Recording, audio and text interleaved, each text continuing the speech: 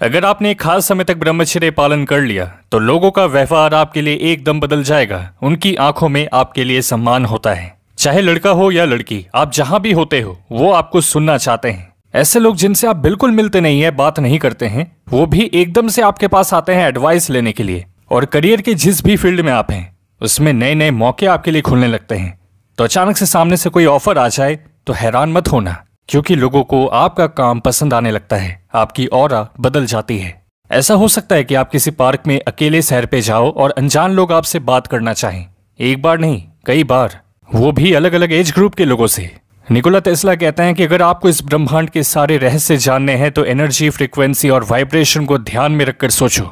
तो हम अपने एनर्जी फ़ील्ड के वाइब्रेशन को बढ़ा रहे हैं। हमारी लाइफ फोर्स एनर्जी का स्तर बढ़ रहा है, जिसमें वो चुंबकीय आकर्षण है जो आपके आसपास के लोग सेंस कर पाते हैं। वो कभी एक्सप्लेन नहीं कर सकते कि वो है क्या, पर उसे महसूस ज़रूर कर पाएँगे। तो जब आप ब्रह्मचर्य पालन करते हैं, आप अपने अंदर के देवत्व को बढ़ा रहे हैं और धीरे धीरे देवता ही बन रहे हैं, आप लोगों के लिए एक उदाहरण बनते हैं कि ज़िंदगी को जीने का सबसे उच्चतम स्तर क्या हो सकता है।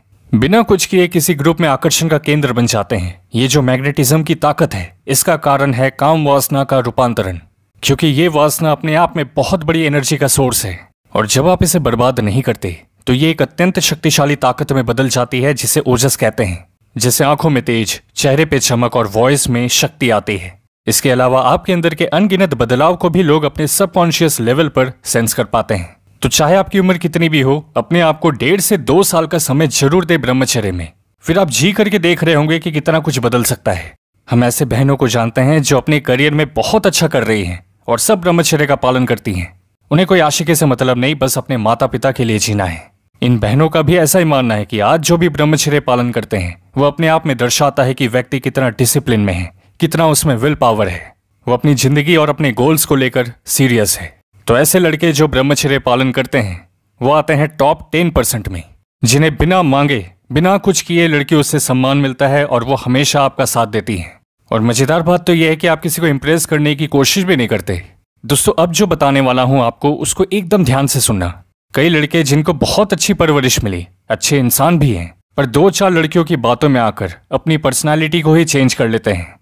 उनके लिए बैड बॉय बन जाते हैं, गलत चीज़ों का सेवन करना शुरू कर देते हैं। क्यों? क्योंकि किसी लड़की को ये कूल लगता है बोलकर। भले ही उन लड़कियों की ज़िंदगी बर्बाद है, उनको नहीं पता कि क्या करेंगे करियर में आगे। लेकिन लड़के क्या कर रहे हैं? उनको इंपॉर्टेंस दे रहे हैं। देखिए, इस बारे में काफ़ी सारी चीज़ें हैं कहने को, उसके बारे में धीरे धीरे करके बात करेंगे, पर याद रखना अगर आप एक लड़के हो और ऐसे ही किसी भी लड़की के पसंद नापसंद के हिसाब से चलते हो तो आप अपने साथ जस्टिस नहीं कर रहे। तो इसे बदलना ज़रूरी है।